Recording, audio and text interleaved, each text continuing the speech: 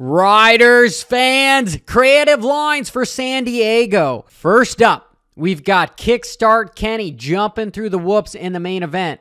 Rob, Rob, Rob. He goes single, triple, triple, triple. Why do riders end up jumping through whoops? Well, if you're Marv, he would tell you that's the only way you actually can do it. It's the most effective way. Well, as far as on the body, it is the most effective way. I will agree with him. That was halfway of a, a joke there. It just requires less energy of all the muscles to just stay on top of him, go eh, eh, eh, eh, eh, and have it all kick you all weird, and you have to squeeze real hard, squeeze your hands potentially. You never want to squeeze your hands a lot on a dirt bike because it's going to cause arm pump and it's going to cause lactic acid and blood in the forearms, and you don't want that. So you want to stay loosey goosey and flowing. Well, look at Kenny. How does it? It looks like a lot of flowing. Where you watch Barcia, see Barcia right at the end there, woo, gets kicked and misses that last whoop.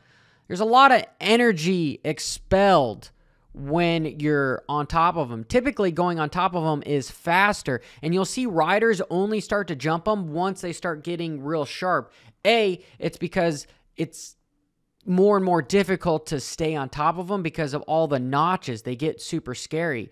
And B, it's just a more effective way to go through them at the cost of speed. But when you have a long main event, you got to think about hey, am I going to be able to make it the whole 20, 25 minutes?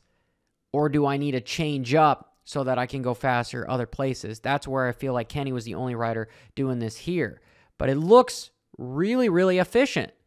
So watch. He's setting up, kicks off the second one, drop, triple, triple, triple while the other riders are expelling a lot of energy to stay on top of them. That's why I have to say that that is an incredibly creative line when those are a difficult set of whoops. Moving on, we've got Tomac, the eventual winner of the night. Not by much from Cooper Webb's perspective because he had a full blown, could see his butt patch for how close he was. I really like this because this is across the start and we see him seat bounce. See right here, it looks like he gets out at the last second. He gets out of the way of a rut so that he can have just a straight shot and there isn't no weird hole here, something that might kick him weird. Uh, pretty interesting how he just randomly just turns at the last second there. We're up. And that was intentional. That wasn't by accident. That was, oh shit, I need a move. And still triples. And what I really like, and what's even more impressive, is him landing, landing. And this is on a left-hander turn, so he can land on the rear brake. If you've seen my braking video, I, I, show you that riders end up landing on the rear brake. I wish we actually had uh, another angle at this because I bet his foot is on the rear brake as a foot peg. It's not on the actual foot peg because he's got to slow down a little bit but he's not going to slow down much. But look at that factory suspension and land just perfectly. So here, he can relatively just coast into the corner and boom, move. He might actually not have been on the rear brake. If I'm just to zoom in here, he might not have been on that guy around because we'd see him probably move because he'd be moving his foot once he starts accelerating. Nope. Was he?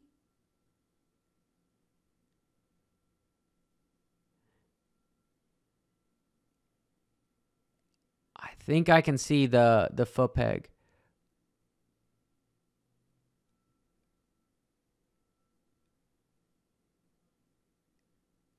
But he's on his toes, which makes it even faster for him to be able to go through the whole corner just in a fluid coasting motion. And last up, a lot of riders were doing this, even Tomac, everyone was doing this, but RJ just seat bouncing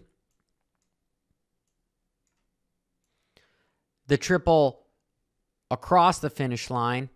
Just nice fluid. Real quick seat bounce. You know how you guys seat bounce. I've made tutorials before it. You want to sit on the back of the bike and you want to kind of curl your hips down to get that rear shock to bounce, but you don't want to have a, a pelvic you want to have a pelvic tilt because if you don't have a pelvic tilt, you're going to sit down and it's going to do this to you. And you want it just to bounce you straight up.